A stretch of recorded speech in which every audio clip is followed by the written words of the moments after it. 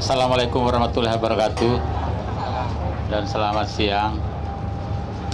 Indonesia saat ini memang lagi berduka atau berduka lagi ya. Jadi bukan lagi berduka tapi berduka lagi dalam persoalan penerbangan kita. Tentu kami datang hari ini memberi dukungan kepada Kepala Basarnas dan seluruh jajaran yang terkait. Baik itu baik itu KNKT, Perhubungan, TNI Polri dan semua yang terlibat termasuk para nelayan. Menyampaikan duka, duka cita yang sedalam-dalamnya kepada seluruh korban dan mudah-mudahan arwah para korban diterima di sisi Allah sesuai amal baktinya masing-masing. Kejadian ini kita harapkan jangan pernah terjadi lagi. Itu niatan kita, itu harapan kita, dan bahkan harapan rakyat Indonesia.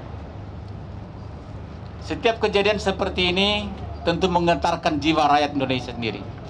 Menggelisahkan di setiap kenaikan, setiap melakukan penerbangan. Apalagi para keluarga-keluarga korban yang ditinggal.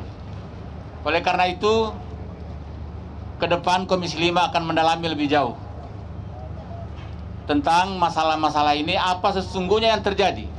Karena di pandangan dunia, pandangan dunia Indonesia sedikit ada tanggapan bahwa masalah penerbangan kita ini adalah sedikit rawan.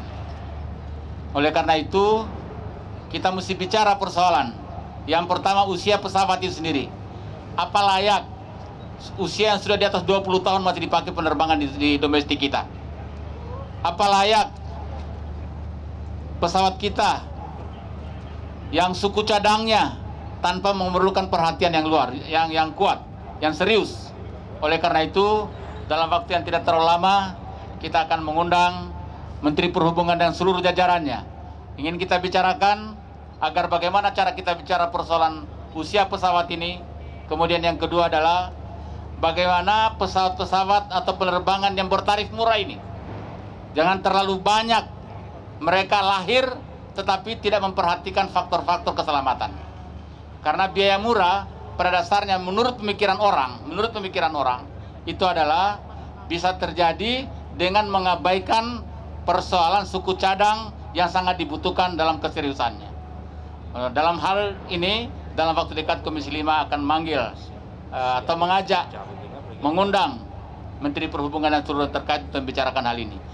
Satu harapan kami bahwa ke depan tidak lagi terjadi hal-hal yang seperti ini yang pada akhirnya kita melakukan penerbangan dan rakyat Indonesia dalam suasana yang tenang dan tidak menimbulkan kegelisahan yang seperti sekarang ini. Nah, titipan saya terakhir adalah saya berharap atau titipan kami Komisi 5 kita berharap adalah Basarnas dapat mengkoordinir semua ini yang sudah sudah sangat hebat ini adalah tetap menjalankan tugasnya dan bisa memberi keyakinan kepada masyarakat kita bahwa Basarnas memberi andil yang baik dalam rangka memberi ketenangan kepada masyarakat Indonesia terlebih keluarga korban itu sendiri. Terima kasih. Saya kira itu barangkali penyampaian kami. Wassalamualaikum warahmatullahi wabarakatuh.